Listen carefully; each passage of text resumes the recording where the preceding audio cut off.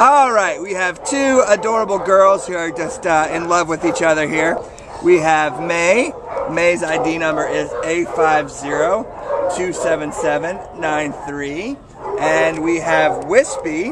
Wispy's ID number is A502-7792. And May and Wispy came in together um, from the El Monte area as strays on January 23rd.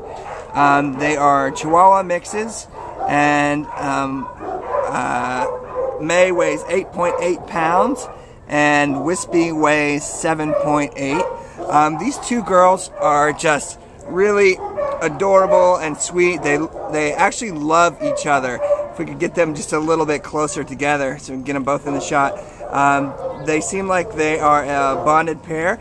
Uh, we suspect that possibly um, May could be the mother of Wispy. They definitely seem like uh, they love each other and want to spend time together. Um, they get along great with each other. I'd imagine that they would get along great with um, other dogs as well. They're very uh, caring and, and look out for each other. So um, they have personalities that are just sweet and affectionate. Um, look at this sweet little baby's eyes. Um, she's just a, a sweet, sweet little puppy. Um, she's kind of uh, got a, a jet black, sleek color. She's like a, a black beauty, like a tiny little black Yes, beauty. she Um, kisses, she's too. really a, a beautiful dog.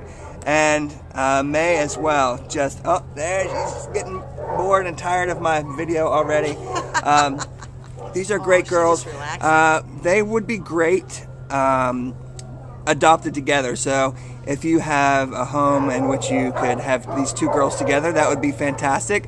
However, the most important thing is that they do get a home and they get out of the shelter. So if you need to adopt just one of these uh, young ladies, then um, certainly, certainly you can.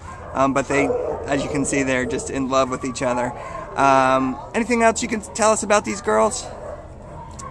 The, mine walks pretty good on leash. Uh, she needs a little bit more training. Um, you know, they're just they're good dogs. They're a little bit scared, yes.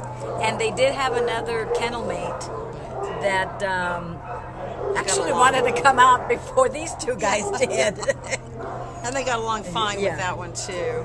Yeah. And this one was very scared in the kennel, but when she got out, boy, her tail went up and she was barking a little bit, saying hi, and now you can see she's totally relaxed. So she really warms up just immediately with people. Yeah, they're uh, really affectionate girls, and uh, you can see Wispy has these eyes that say, "Please come and get me." Um, her fingernails are a little long too, so she'll need to get her uh, fingernails clipped. And these girls just need some uh, overdue attention. Um, obviously, if you look at them, you don't see them as world travelers, so they were probably dumped uh, together. So um, we would love for you to come down, meet these little girls, take one or both of them home with you, and just introduce them and make them uh, part of your family. So they are at the Baldwin Park Shelter, and they're ready to go home today, right?